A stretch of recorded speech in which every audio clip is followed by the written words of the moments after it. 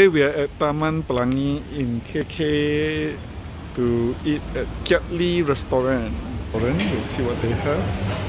Seems like got quite a lot of choices.